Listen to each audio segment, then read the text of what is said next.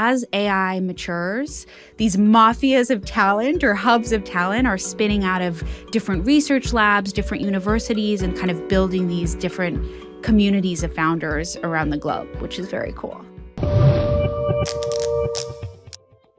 You and the consumer team posted this generative AI 100 list. It was a really fun one to work on, actually, and, and something that we'll be putting out probably at least every six months, given mm-hmm. how fast the space is changing. Maybe three months. I know. We might need to accelerate it even further essentially the question we were trying to answer was like, yes, there are these AI names that everyone knows and a lot of people use, like ChatGPT and Midjourney. But beyond that, like, what are the other products that normal people might be using every day for art, for creativity, for work, for education? We were really interested to see if there was going to be any surprising names in there or what trends would pop out. So we kind of, I don't want to say boiled the ocean on this, but we literally screened every single global website. Which means like how many are being pulled into the spreadsheet? Tens of thousands, if not more. Okay. So we have a data provider called SimilarWeb where mm-hmm. you can sort every website in existence by number of monthly visits. And so then we kind of manually filtered that into what are the first 50 of these that are AI companies. Mm-hmm. And then we did the same on mobile with Sensor Tower, which gives us App Store data globally who has the most monthly active users on an app. Found the top 50, and then we had our distinct web and mobile lists. Amazing. And so you actually pulled a similar list, maybe just for web in yes. September. Yes. So between these two lists, what did you notice and were there any newcomers that yeah. really caught your eye? Absolutely. Yeah, we actually decided to pull a separate mobile list because there was not a lot of overlap, uh, which mm. the products that are succeeding on web for AI, I think, are distinctly different. I think there was only five or six companies that made both lists, really? if that. Yeah. Okay. So some pretty big differences there. I would say so. All the mobile companies were brand new to the list. A couple categories really popped on mobile that we didn't see as much on web. But it makes sense because they kind of take advantage of mobile as a platform in a mm. unique way. So, EdTech is a great example. There are companies like Elsa that are kind of a language learning. They take advantage of the fact that you can talk into your phone much more easily than you can talk right. into a computer and get real time feedback on pronunciation, things like that. Uh, lots of homework helper apps where you just take a picture and, and get an answer oh. as well. We're flooding the app store. Which is also fascinating because you're talking about the device, right? Where exactly. the camera's at yes. hand. So mobile, I think what works really well on mobile is kind of audio capture and then image capture and availability. Mm-hmm. So exactly to that point about image capture, you probably have tried Lensa or Epik or mm-hmm. Remini was another one that popped up. All of these avatar companies that take advantage of the fact that we have dozens of selfies stored yeah, on our camera roll. yeah, and are willing to pay literally like twenty dollars yes. for some cool looking avatars. Those are the types of products that have worked on mobile. Keyboards as well.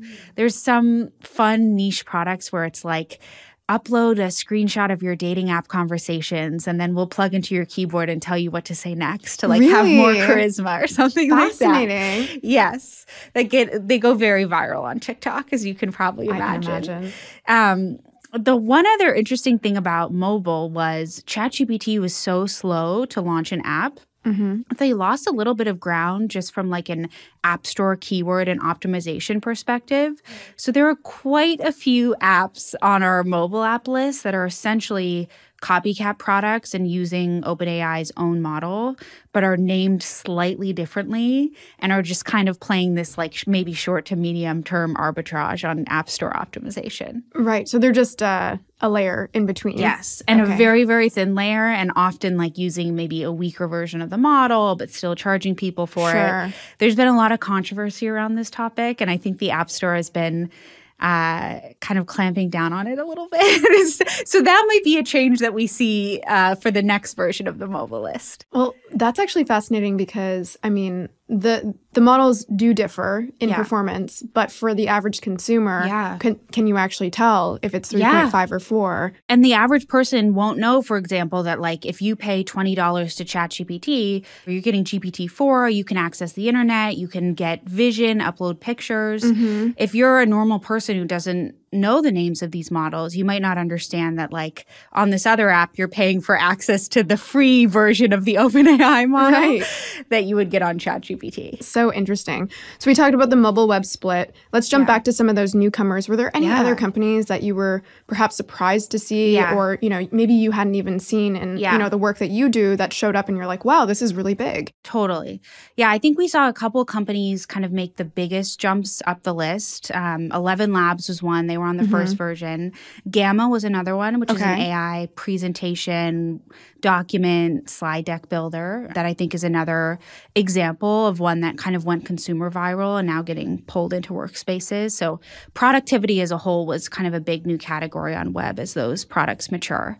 The other big new trend on web in particular was companion apps. Mm-hmm. I think on the first list there were two companion products and I think there were eight on the most recent one. Most of them were actually uncensored models. So, okay. not to say they were all NSFW, because that isn't necessarily the use case, but they allow you more freedom to talk about different topics, do different mm. things than you can do if you were just trying to use ChatGPT as a companion, because OpenAI is somewhat restrictive in how you can kind of interact with the product there. Right. And if character AI is one that a lot of people are familiar with, they yes. build their own model. These yes. other ones where you're talking about this, you know, lack of construction. Yeah. Are they using Llama or how are they getting yeah, to? It's a good question. It depends. A, a, lot of them have maybe tuned their own models. Um, but many of them maybe have not trained a, a, full foundation model in the way that character AI has. I would say a lot of them are also exploring maybe new modalities. There's a company called Talkie that's almost appealing to like the gamer trader mindset when it comes to oh. companions where you actually unlock like trading cards as you talk with companions for different amounts of time and then you can kind of sell them in this like in-app marketplace almost. Really? Yeah. So it gets back to this question of how do companions go mainstream? And i think the answer is there's different versions of what a companion looks like that probably attract and hook in different types of users. Yeah. And it's not always like a completely free form conversation. Maybe it looks like a game, maybe it looks like a coach, maybe it looks like something else. Mm. And are you seeing those companion apps show up for the things that you just mentioned for the coach, the therapist, etc.? I would say most of the use cases so far are pure consumer and uncensored. we are expecting to see some of the other categories, but honestly, they're less viral in these early days. Makes sense. And so they're not popping up the list as quickly. But we talk to lots of these companies. They're growing, but maybe not the zero to 20 million monthly web visits that some of these uncensored companion apps can get. And maybe we can just quickly speak to that. Yeah. I mean, I think I've seen some data that you, you've all shared on just how many visits or interactions yeah. some people are having. Maybe we just talk about that because it's it's kind of shocking in a way, yeah. but also not surprising. Yeah, absolutely. So on for the mobile products as well as the web products, but especially interesting on mobile because you can really granularly track a user and say how much time are they spending per day, per month, how often are they coming back. And the insight there that I was like shocked by, and I say this as a big fan of the company, but Character AI has the average user up close to 300 sessions per month, uh, which again is like 10 sessions per day. This yeah. is like iMessage usage, Snapchat usage, Instagram usage. Really, yeah. So I think we're starting to see like, yes, maybe the product isn't for everyone right now. Maybe, you know, it hasn't reached the true, true mainstream, but it's getting there. And the people who are using it are really using it and clearly finding like deep, deep value from it. Yeah, and just to clarify for listeners, when you're saying a session, is that one message or that's actually one conversation? That's a session on the app. Yeah, there's some um, filtering they do around it where if you just like accidentally open or close the app, they won't count it. So this is like an average session for a company like Character is probably going to be upwards of five minutes long. Mm. It's like mm. a real kind of deeper conversation. Wow. You know, another trend you call out in the report is this idea that AI is a global pursuit. Yes. We're currently actually recording this in San Francisco, yeah. where a lot of tech has been built, but we're seeing, you know, like Mistral from France. And yes. like, what else are you seeing in those global dynamics? Yeah, it's been really exciting, actually. And, and this was a big change even from V1 of this list to mm-hmm. the most recent version. A lot more global pursuits. And I think that's a function of, to your point, many of these models are opening up a little bit, whether they're available via API or whether they're open source.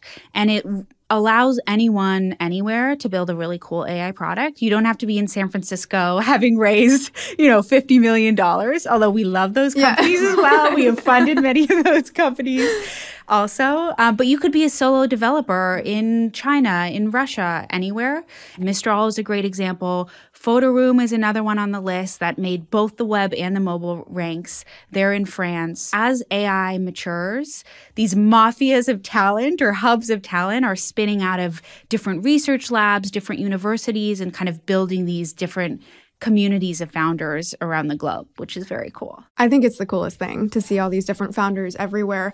Is there anything else you wanted to call out on the list in terms of new categories that you're seeing pop up? Yeah, I would say a big leading indicator for the list, like if you wanted to predict what's going to be on the list in six months, looking at the Discord data, mm. you can even track like which Discord pages are getting the most invite traffic or things like that as a proxy for interest. Right. And many of those companies that get really big on Discord like Midjourney, like Pika, like Suno will then go and launch an independent web app that does really well. Mm-hmm. Um, and we've seen that be fairly predictive now of Suno was one of the highest ranking new companies that we saw on the list this time and they just sprouted out of a successful discord it's such an advantage because then you can build up a base of hundreds of thousands or millions of users and so you're not quite cold starting the website yes uh, as you would be if you kind of didn't have that base of users before Totally. And how would you go about doing that? So, the same website provider that we use, SimilarWeb, you can, this is crazy, but you can get so granular as to see the most popular websites on each domain. And so you can filter by like discord.com slash invite. The subdomains, yes. right? Yeah. And then kind of click on each. I've seen a lot of interesting stuff. you can click right, on because they're one. not telling you what's no, not no, no. They have, they, it's often some like weird string of letters and numbers. Right. Same thing with Reddit. And then you click on it and you see like, okay, is this an AI product? Mm-hmm. We put some of the data on this in the list, but actually now now many of the biggest discords by growth are AI products, mm, mm-hmm. like Midjourney and Pika and, and Suno. Like like Midjourney itself is driving you know, close to a percent of all kind of Discord invite traffic, which is wow. very cool. And that's it. You know, that's a product that's been around for probably 18 plus months now, and, and still you know, millions of people are using it on Discord every month. I mean, I'm one of those. Yes. Yeah, I love it. Me too. Amazing. Um, yeah. I'm, is there anything else you call out about what you would like to see in the next yeah. six months, let's say, it sounds like you're going to keep repulling this list. Yeah. And at the pace that we've been moving, it feels like, you know, maybe this list yeah. will be completely rerun and totally. it'll be all new companies. But then on the other hand, there are companies like Midjourney that yes. for the last 18 months have held strong. Yeah. I'm very interested to see, especially now that kind of mobile is happening more, um, what founders can do with audio as an input mechanism. Mm. We talk a lot about AI generated content and like images, video, songs, all of that is amazing. Uh, but if you think about how much content or media you're creating daily, it's probably speaking. And there's a lot of value in what you're saying in a conversation that is not getting captured right now because there's nothing listening to you, transcribing it, formatting it, all of that if you look at kind of productivity hyper enthusiasts, a lot of them are using these like old school voice dictation devices. And I think that's finally coming to software now due to AI. Mm-hmm. It, it's not just a direct transcript of every like um and ah that you said, but it can take a ramble and turn it into a beautiful email. totally. Did yes. you see that video? It went viral at one point of some girl just talking into, into ChatGPT, yes. talking about currency exchanges. Yes. Did you see this? Yes. And it was the most convoluted convoluted and then people were just shocked. They're like, how did ChatGPT understand? It's what- absolutely amazing. and I think, yeah, ChatGPT voice is like an incredible product. And there will be more products like mm. that and more kind of tailored and vertical products. It, another example is a lot of older people are using ChatGPT voice as kind of a companion throughout mm. their day to tell stories to, to ask questions about, things like oh. that. It's a really interesting use case or language translation. There's a lot of people in other countries that are using ChatGPT as their quote unquote like American friend, that they talk about trends, they practice English, things like that. I love all of it. And I think there will be purpose built products and companies for some of that that can do it even better. And so on the next mobile list, I'm hoping to see some more things around audio emerge. Well, as a podcaster. I am too. if you actually look at the history of the web, you can see like blogs start to form in the yes. early 2000s. And then it took basically a decade for podcast apps yeah. and things of the sort. So I feel like we've always been just a little further yes. behind in yes. infrastructure and ecosystem. Yeah. So I'm also really excited. Yeah. As a reminder, the content here is for informational purposes only should not be taken as legal, business, tax, or investment advice, or be used to evaluate any investment or security, and is not directed at any investors or potential investors in any A16Z fund. Please note that A16Z and its affiliates may also maintain investments in the companies discussed in this podcast. For more details, including a link to our investments, please see a16z.com/disclosures.